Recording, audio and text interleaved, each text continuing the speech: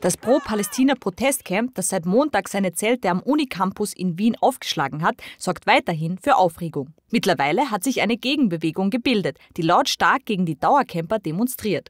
Die Polizei ist vor Ort und ist bereit, das Camp im Falle von Ausschreitungen zu räumen. Thematisch eingegliedert dürfte die eine Demonstration pro Palästina sein und die andere thematisch gegen diese Campus-Zeltbewegung. Wie schaut es denn aus mit einer eventuellen Räumung? Äh, könnte das bevorstehen? Man muss immer die Bestimmungen des Versammlungsgesetzes ganz genau sich anschauen. Im gegenständlichen Fall muss man auch bedenken, ob strafrechtliche Relevanzen vorliegen. Das ist derzeit noch nicht gegeben.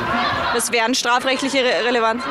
Unter anderem natürlich eine Sachbeschädigung oder auch andere Bestimmungen nach dem Strafgesetzbuch. Und sollten gegebene Umstände auftreten, die ein weiteres Einstreiten fordern, dann werden wir das auch tun.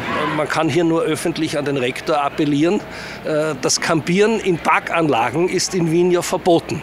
Und wenn ich mir vorstelle, welche Kosten die Universität durch die kaputte Wiese dann auch noch haben wird, äh, dann wäre es höchste Zeit, da Uni und ÖH das alle verurteilen, dass der Rektor endlich tätig wird und den Leuten, die da studieren wollen und da durchgehen wollen zu ihren Instituten, eben Freiraum schafft. Also ich finde, dass äh, dieses Camp hier nichts zu suchen hat. Ich fühle mich persönlich auch darüber, davon bedroht einfach.